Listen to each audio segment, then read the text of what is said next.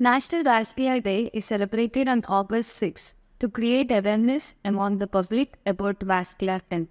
The motto is Amputation Free India, Amputation Free World. The key message is to identify the patient in the early stages of peripheral arterial disease and treat them to prevent amputations. Peripheral arterial disease is a condition where there are blocks in the arteries in the legs and the hands. You might all have heard of the term heart attack. The similar thing occurs in the arteries in the legs, called attack. When there are blocks in the arteries in the lower limbs, initially there will be pain on walking, and at the later stages, the pain happens at rest, and then the gangrene happens.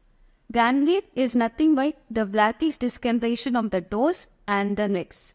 Once a gangrene happens, there is a very high risk of losing the toes or even the limb. There is lack of awareness among the public regarding this vascular health disease. As everyone is aware of heart attack, but very few are aware of this term called a leg attack.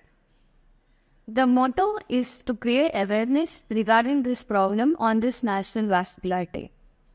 It is important to maintain a vascular health by following few things.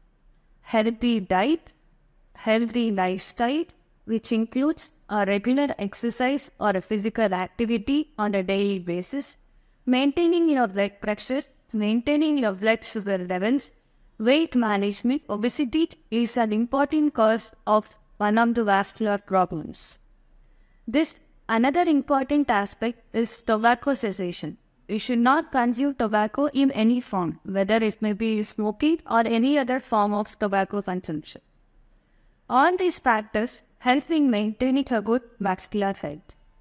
National Vascular Day is a reminder for everybody to take care of your vascular health and it is important to start taking small steps in our everyday lives. Thank you.